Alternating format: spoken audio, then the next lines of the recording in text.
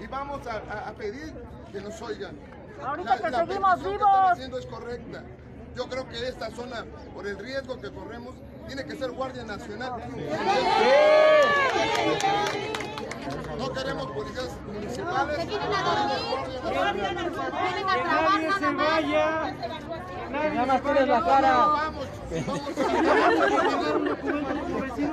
vamos. Ahí está la libreta no sabías.